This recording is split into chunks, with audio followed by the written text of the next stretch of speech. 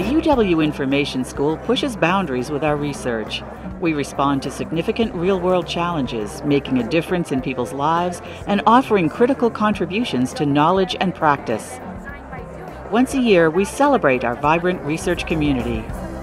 The research opportunities at the iSchool are really diverse. You really are able to match the questions you want to ask with the methods you want to use and the faculty who can help you.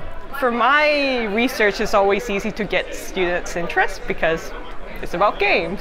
Who doesn't like games? We actually joined over 200 online communities and we monitor those communities to collect. I'm part of the gamer group, which we study games, information, behavior here at the iSchool. The very popular game Pokemon Go is a great example of an augmented reality game. It's relatively new. We want to know how this kind of game is going to impact people's lives. Really complex information sharing communities have emerged. We're trying to study how information is shared and how these, these communities ask questions and how they crowdsource answers, and it's been pretty fascinating. So last summer, I was part of a team of um, different professors in the LIS program looking to develop a design course for the graduate LIS program. And this hadn't been done before, really providing LIS students with really cutting edge um, techniques and skills and um, thinking about the field of librarianship in a whole new way. The students are everything. They're, they're the engines of research. They're the ones with the ideas. They're the ones who are doing most of the work. My project is looking at freshman attrition at University of Washington. Uh, traditionally throughout the United States, a large number of freshmen tend to drop out within their first year. And sometimes it's for, for things that you know could, could be easily rectified. So we're trying to use uh, machine learning methods and statistics to try to come up with ways of predicting when a student will drop out. Lavi came to me and was interested in working on this project. A lot of these projects we have in the data lab are just projects that are sort of they come into the heads of the students and they come to us and we said, sure, that's let's work on that. That seems fun. The problem is Sometimes an idea comes from a personal experience that reveals a community need. In the second year of my PhD program, I had Hodgkin's lymphoma myself, um, and I went through eight months of treatment.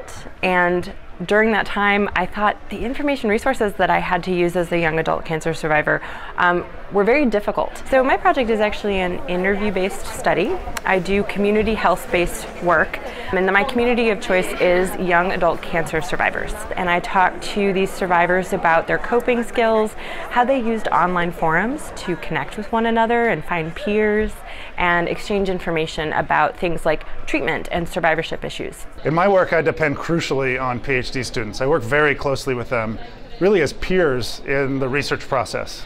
My project with Abdullah Ali is looking at how we can use the crowd, which are masses of online users, to better design uh, just about anything, really. And we're building a platform to enable this called CrowdLicit. So we can uh, we can get from the crowd a, uh, a large amount of uh, inter different interactions, and then have the crowd themselves uh, using their human intelligence to uh, figure out which is the best interaction to uh, design for a new technology. I'm interested in how publics use technologies, social media to talk about important political issues. So uh, I needed some method to understand that diverse stakeholders. So I'm presenting uh, a design method called stakeholder tokens. And this is a stakeholder analysis uh, method to understand uh, who are the important stakeholders and what are the important values for those stakeholders so that we can design.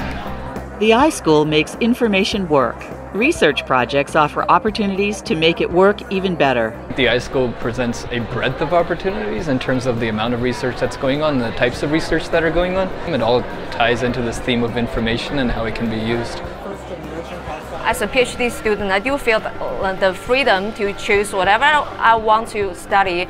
Like I feel um, it's okay to just knock on a professor's door to just say, hey, I want to discuss some research question with you.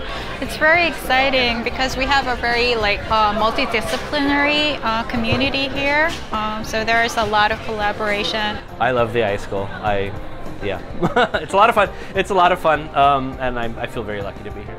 I, I've been having the best year of my life so far.